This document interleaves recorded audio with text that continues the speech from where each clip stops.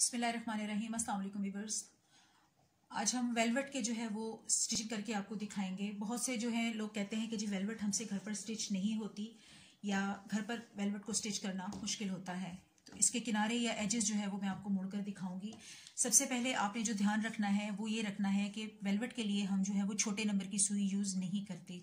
मैं यहाँ पे ये 18 नंबर की सुई इस्तेमाल कर रही हूँ। 18 नंबर की सुई मेरी मशीन में परफेक्ट वेलवेट को सीती है। आपने देख लेना है कि आपकी मशीन जो है वो 18 नंबर की सुई या 20 नंबर की सुई या 22 नंबर की सुई से इसको परफेक्ट वेलवेट को सिएगी, ठीक है?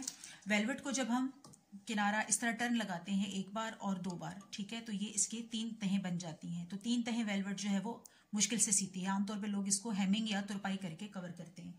तो टेलर्स को इसीलिए दिया जाता है कि वो बाकायदा नीडल्स के साथ या बाकायदा अपनी मशीन के साथ जो है वो इनको सीते हैं। मैंने 18 नंबर की सुई अपनी मशीन में लगा रखी है। साइड्स मैंने मोड़ ली है। अब मैं बिल्कुल नीचे वाला किनारा मोड़ूँगी जो कि इससे भी मोटा हो जाएगा। ठीक है, यहाँ पे मेरे तीन टर्न बने हैं, तीन फोल्ड जबकि यहाँ पे जब मैं इसे फोल्ड करूँगी तो आप देख सकते हैं कि तीन और ये मजीद फोल्ड आ चुका है और ये मजीद फोल्ड आ चुका है। इसका किनारा जो है मैं इसी के साथ पक्का करूँगी निडल के साथ। बिस्मिल्लाहिर्रहमानिर्रहीम। आप भी चाहें तो प्रॉपर सुई इस्तेमाल करते हुए वेलवेट को आप घर पर खुद सी सकते हैं।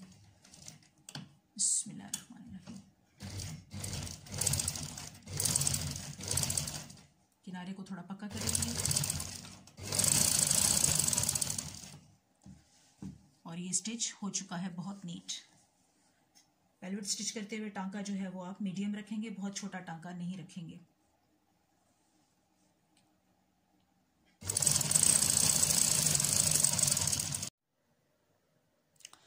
वेलवेट की ये शर्ट जो है वो घर पर ही स्टिच की गई है और इसके किनारे जो हैं वो हमने प्रॉपर मशीन से स्टिच किए हैं। यहाँ रहे इसके चौक। आई होप कि आपको आज की वीडियो पसंद आई होगी। वीडियो को लाइक कीजिएगा शेयर कीजिएगा और जिन लोगों ने अब तक मेरा चैनल सब्सक्राइब नहीं किया काइंडली वो इसे सब्सक्राइब कर लीजिएगा। आप देख सकते हैं कि बिल्कुल नीट किनारा जो है वो हमने मशीन की मदद से ही पक्का मोड़ रखा है। आज की वीडियो बस यहीं तक। इजाज़त दीजिए। अल्लाह हाफिज़।